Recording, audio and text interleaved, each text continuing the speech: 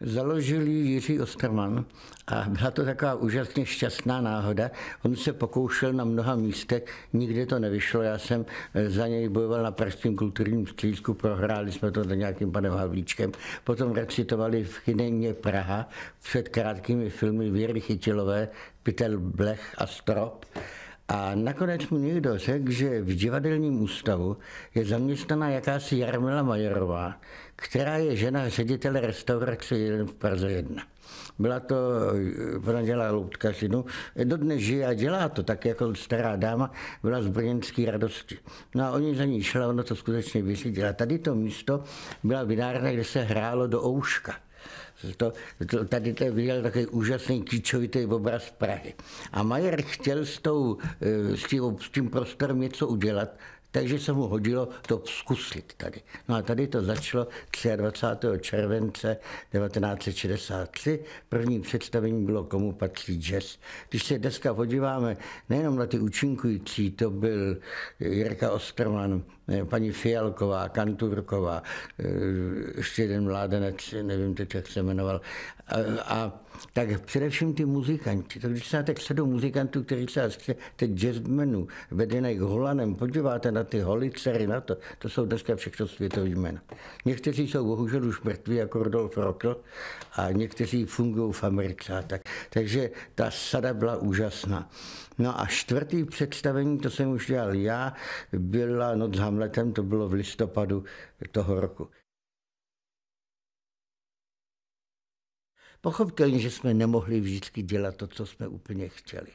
Ale skoro nikdy jsme nedělali něco, za co bychom se museli hambit. Podařilo se to především Majerovi. Protože Majer byl sice ve straně, ale pokud by on se do té strany dal za války, někde jako tyhle ty lidi, kteří tam nestoupili z nějakého konjunkturálního důvodu, nebo z této, to byl úplně, abych tak řekl, jiný pocit partajníků. Já vám můžu rovnou říct, já jsem měl dost častý, jeden asi čtyři měsíce každý týden problémy s výslechy na STV. Já jsem mu všechno říkal. On všechno o mě věděl. A prostě on byl absolutní jistota. On měl být ministrem obchodu. Já jsem neviděl člověka, který by vyvinul takovýhle úsilí, aby jim nebyl. On prostě říkal, že by to vzal, kdyby viděl, že mu to nebudou kecat. Takže eh, on dovedl tohleto, víte, obhajit. On byl v předsednictvu eh, partaje Prahy 1, oni ho tam potřebovali jako ekonoma, jako to, neboli on nebyl v takové té ideově, tý rovině, no ale přitom měl veliký postavení. On tam, to, no a teď si představte, co se stalo. Jednou tady po představení jsem čekal, já vždycky kdo měl službách, musel počkat, až ten technik to tady uklidí a zamkne. A přišel pan pokorný Jindřišek a říká mi, tady nějaký pán chce s váma mluvit. Tak jsme šel tý kanceláře a říká, nezlobte se, já se vám nepředstavím, ale musím vám to říct. Já jsem teď vez dva pány z UV partaje, taxiku, a oni si vyprávěli o tom, jak příští týden sem přijde buldozer a tohle to celý srovná. No tak já jsem okamžitě v noci ještě zavolal toho Majera, šel jsem němu druhý den v 7 hodin ráno, no a on začal jednat. Prostě nestalo se to. Já si myslím, že ten Majer byl úžasný, že to byla jaksi obrovská figura, která to, a on byl velmi tolerantní, a v podstatě oni vždycky mě jenom drželi při, když viděli, že už by to šlo přes tu čáru a že už by to neuhráli. Ta umělecká rada to. Kdo třeba k nám byl úžasně hodný, byl Jaroslav Šeda, ředitel Suprafonu. Nebejt jeho, tak ty desky nevycházely taky. A Jirka Šrámek, který nám držel taky pal, vy jste tady natočili asi 30 desek. My jsme od začátku, jsem se snažil programově dělat monodramata taky. A první, který tady bylo, dělal Josef Chvalina a to byla poslední páska Beketova. A Zajímavý bylo, což já jsem náhodou nějak objevil, ta poslední páska je ve dvou verzích. Jednou jako povídka a jednou jako hra.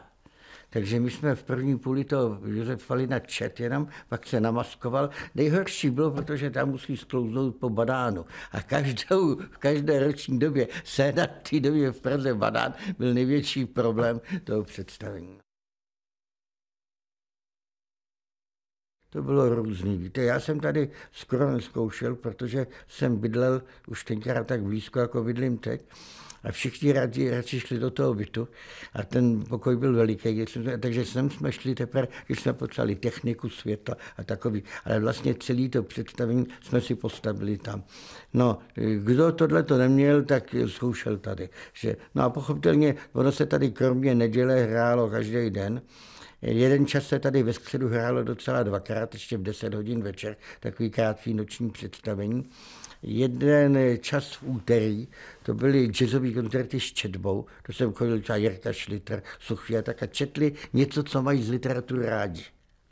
A pak se tady hrálo v sobotu odpoledne, asi od 71. roku, to byly dětské představení. No, takže se muselo zkoušet dopoledne a takže. Ale no jednou jsme tady zkoušeli do půl pátý do rána a to byl Máchův máj s Hrušínským, protože tam jsou ty intermeca, ve kterých je asi 16 lidí nebo kolik zpěváci, recitátoři, že to tu dělal Kopelent. No. A ono nebylo možné ty lidi dát vůbec dohromady. Tak jsme začínali v 11 v noci. To zkouška, aby jsme je dostali dohromady. Seděli jsme eh, s režisérem Josefem Henkem nahoře před šestkou, kde se natáčelo na Vinohradech a eh, měli jsme nějakou oba dva pauzu a Josef si ke mně set a řekl mi, chtěla byste se mnou dělat koktouf lidský hlas? tak já se s odpuštěním trošku jako takhle lapla po vzduchu a řekla jsem si, že se tak Josefe ptáte. Samozřejmě, že bych ho chtěla dělat, ale přiznám se vám, že ho nemám študovaný, Vím akorát, o čem jakž takž ten lidský hlas je, ale zatím o něm nevím skoro vůbec nic. Tak jsme se nějakým způsobem na tom dohodli, že jo, a on mě potom dával zprávu, že to ale chce nejdříve točit pro televizi.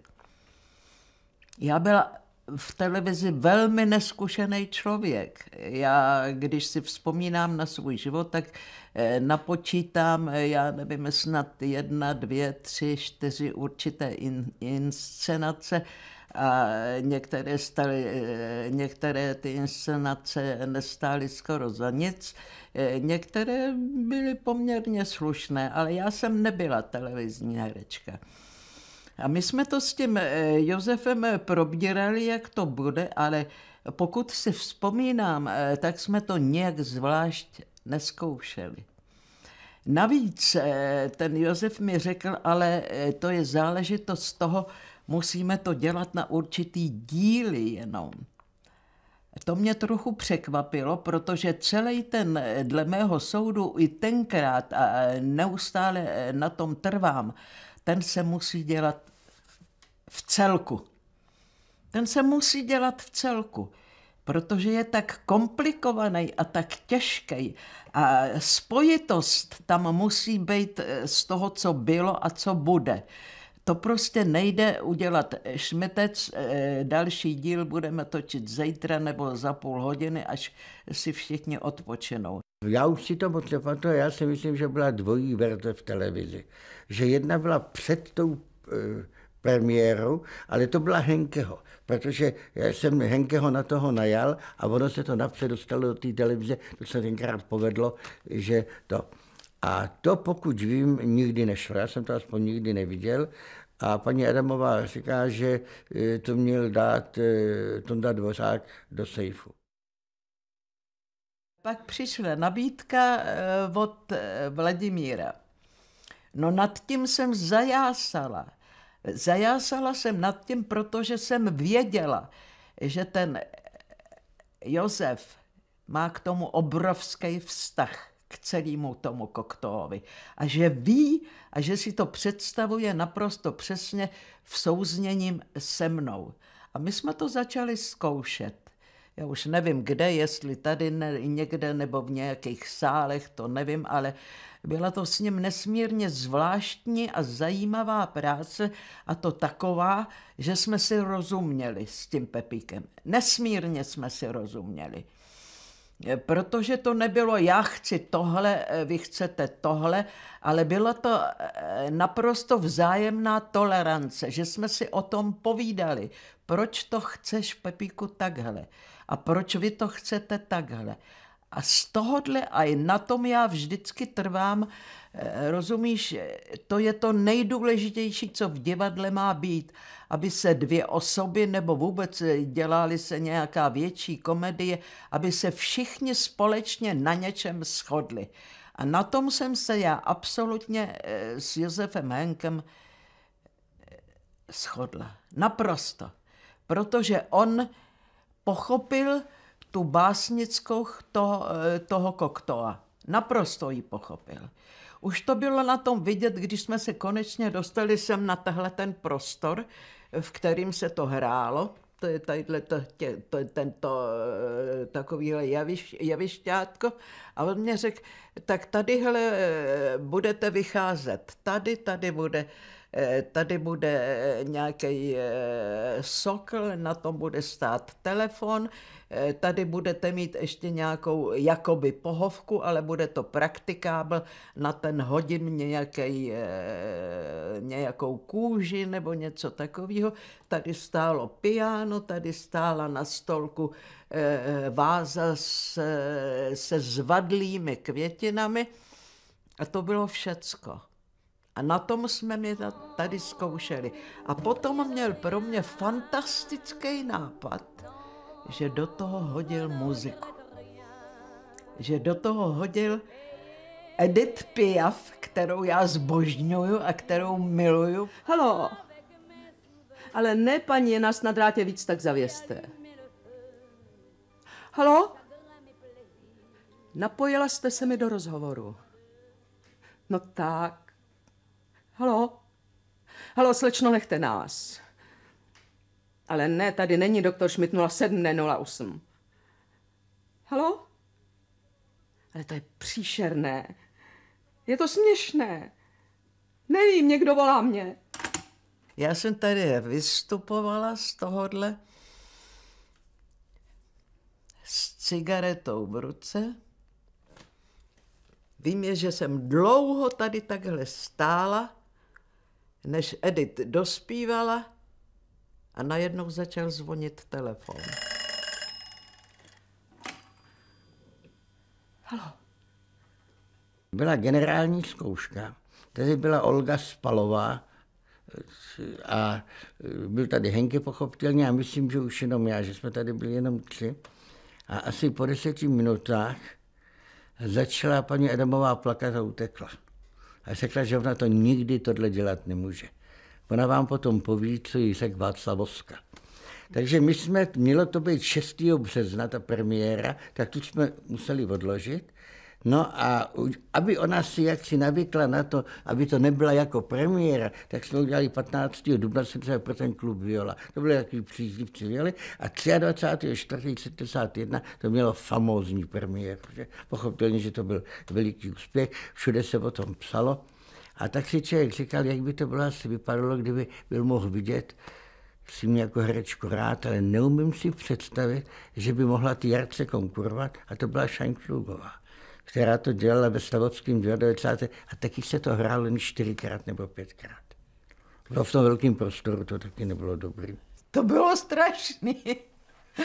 Já to do toho eh, první představení, pardon, první představení ne, ale já si pamatuju, Eh, když už docházelo k určitým eh, hlavním zkouškám a tak dále, tady jsme, jsme stáli, a to se mně někdy stává, já nevím proč, já jsem totiž strašně eh, svým způsobem, dá se říci, psychicky labilní člověk v určitých situacích, když mě prostě něco něco se mi buď stane doma, nebo se mně něco stane v divadle, stalo tenkrát v divadle a tak dále.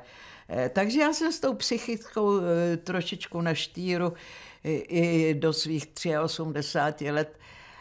A tady nastala situace, jak říkám, myslím, že už to byla první nebo druhá hlavní zkouška. A já jsem měla eh, to, čemu vy rozumíte, okna. Ale to nebyly okna, to byly auslágy.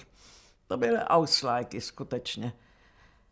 Já jsem říkal, Pepíku, co s tím budu dělat? A vy si děláte zbytečný starosti, to je takový momentální, uvidíte, že to bude úplně v pořádku. A já jsem si říkal, Pepa mě moc nezná v těchto těch věcech, tak to je trošku jako takový komplikovaný. A vím, že jsem tenkrát v komorním divadle hrála se svým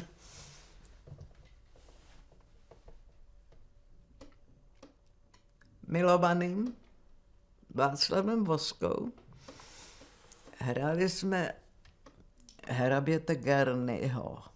Říkám, Vašku, neblbni, ale já to vůbec nemůžu. Já mám e, první hlavní zkoušku a já mám, bej, já mám okna a nevím, eh, co bude dál.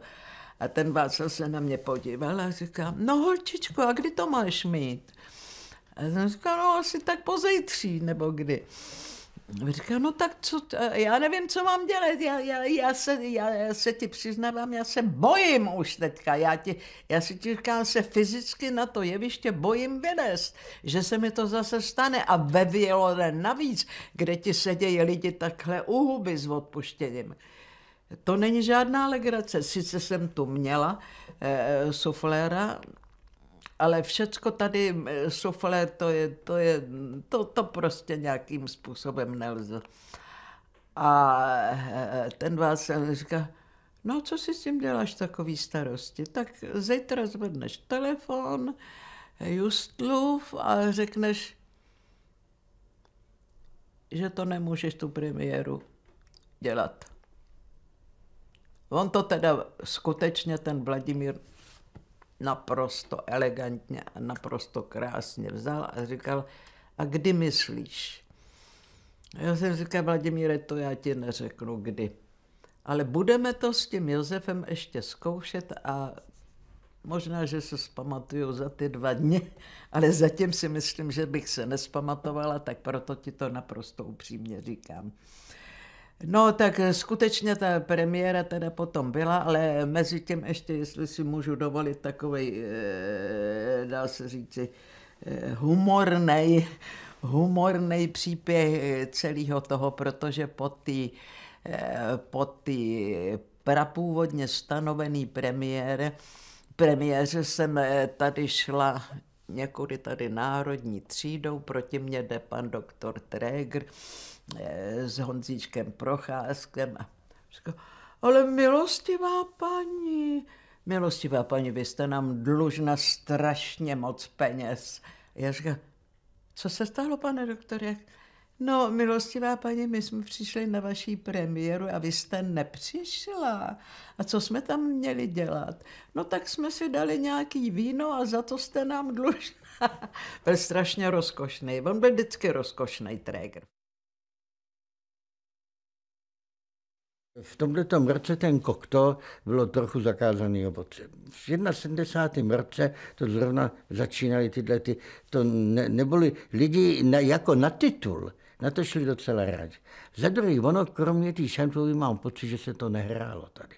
Takže to byla jenom legenda, že v tom 33. nebo kdy to bylo v Polmě, to dělala ta šantová. No a potom Jarka v té době už měla renomé jedný z vlastně první dámy té scény nebo na ní bylo úžasné. A další věc byla ta, že si myslím, že charakter toho textu, ta jakási poetická rovina s tou dramatickou, kterou jsem to, a s tou vyprávěcí a prostě s tím, že ona nemusí lítat po tom jevišti, aby se vůbec to, ale že je to všechno soustředění na ní, na její hlas, na jeden to, tak to bylo úžasné. Proto si myslím, že ty lidi to tak brali, protože ona tam v sobě jako kdyby našla sama sebe v tom projevu. Já jsem si tady přinesl papír, že vám chci říct, já to mám spočítaný, to pak už jsem to nedělal, do konce června 91. Takže ještě se něco může přidat. Ta premiéra byla 23. dubna 71 a předpremiéra pro klub Viola 15. 4. 70. Vysvětlím, proč tohle bylo. Tak do toho 91 my jsme to odehráli 134 tady a 64 na zájezdech. To je 198 a ještě něco naskočilo. Já myslím, že se dá říct, že to bylo 220 představení.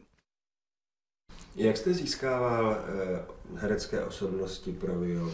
No, je to takový, že to trochu, ale musím říct, že jednoduše.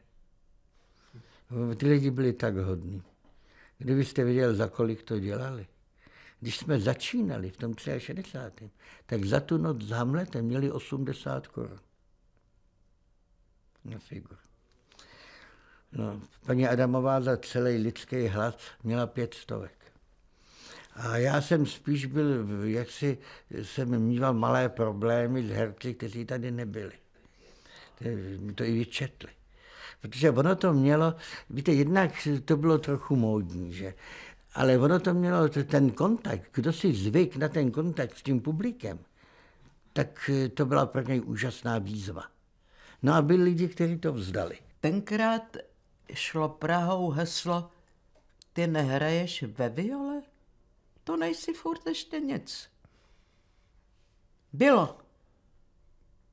Kohout, Štěpánek, Heger, Fabiánova, teď to vidíte tady všude kolem sebe. Tady plynuly herecké dějiny velikánských hereckých osobností. Já si toho nesmírně vážím, že jsem tady mohla hrát. Nesmírně si toho vážím.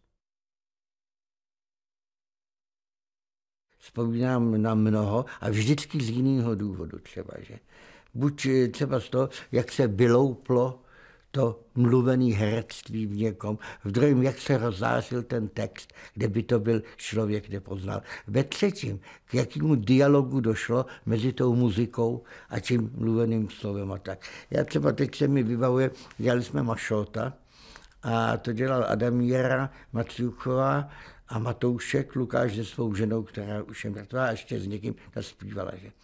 A já jsem požádal, protože existuje taková panichina za Mašouta, tak jsem požádal Václava Vosku, aby to namluvilo o to. A oni mi pak řekli, že jsem pěkný to, že dostat je do takovéhle konkurence, co oni pak mají dělat, když to začíná tím, tím Voskou. No Voska tady byl úžasný.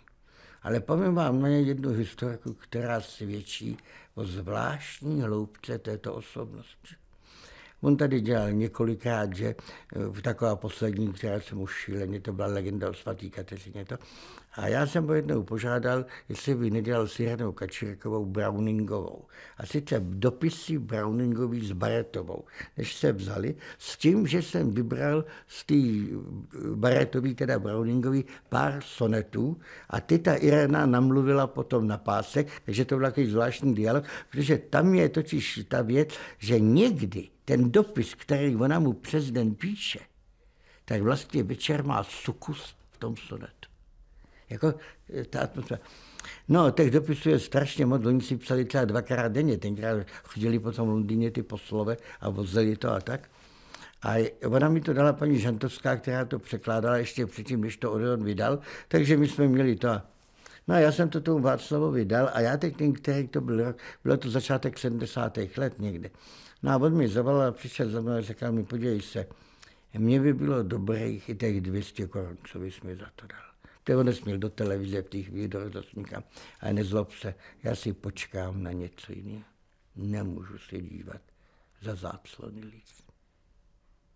A přitom tam nebylo nic tak strašného. To byla eh, viktoriánská Anglie.